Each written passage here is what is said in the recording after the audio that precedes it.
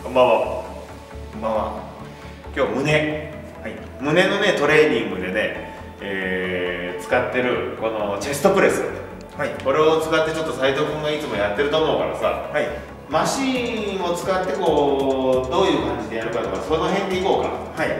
これチェストプレスのマシンなんだけどさ一応、はい、調整としては椅子の高さと椅子の高さを自分の高さに合わせる多分この手手の位置手の位置がどこに来るかっていうのをちゃんと自分で意識してそれによってこう椅子の高さを合わせると思うからさ。まあ割とほら下にこう押し込みたいっていうのだとちょっと高い椅子の位置にするだろうししっかりこう横に張り出していくっていうんだったら手の位置がちょうど胸の辺に来るとかそういうことを意識してやると思うからさ。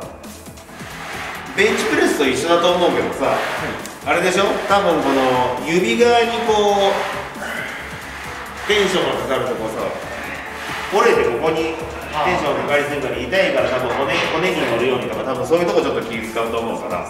それとあと体の使い方としてはあの胸を張る。まず胸を張る。俺よくね意外とこう使い方わからないって人によく言うのがさこの肩ごと出しちゃうんですこよよくいるんじゃないですか、まあ、あのやってる人はそうじゃないかもしれない割とこう初めてやったりするとさ、はいきます。よいしょ。よいしょみたいなこういう感じの人。結構あるでしょそうすると多分ねこのなんか、まあ、腕だとか肩とかに入ると思うからちょっと悪いバージョン一回押してよ悪いバージョンでね。わかります、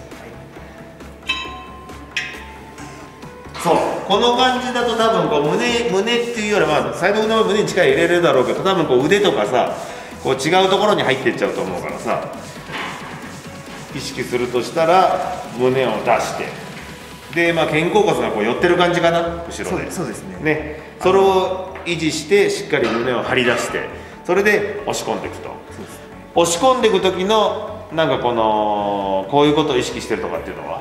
なんで最後まで絞り切る感覚。そうだよね、はい、それなんで胸を張ったまま胸は胸は張ったままなんだけど中側にこう胸を押し込んでこう詰めていくような。そうですね。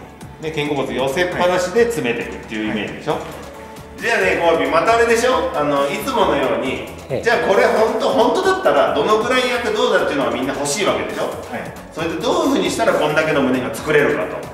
それでしょ？みんな欲しいのは。だから結局まあこれ極論で言っちゃうけどまたねいつものように言っちゃうけどまあ23年頑張って押してくれればまあ別に何キロでやろうがね何セットやろうがこのぐらいの感じにはなるんですよね斉藤君だってそのぐらいだもんね。そうですね、うん、ちょうど。ちょうど23年ねちょろちょろっとこう何でもいいから一生懸命やってれば別に3セットだろうが5セットだろうがやってればまあこういう胸が作れるっていうね。だからまあチェストプレスとしてはまあ23年頑張ってとにかく押せと。そうですね。ね押し続けると。それがだからそそれがもう本当にね極意だからとりあえずまたこれまたいつものようにこう胸を作ろうって言ってる人たちに向けてのね応援動画です。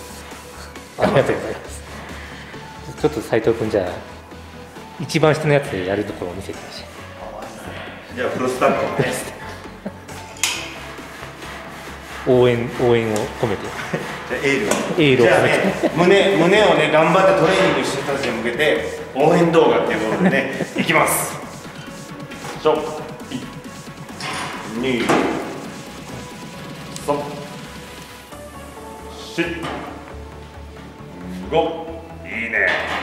六七八九十。いきます。一二三四。五、六、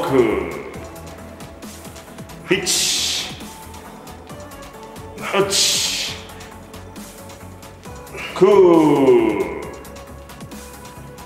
よっしゃ、ラスト十。そう、ナイス。ナイス。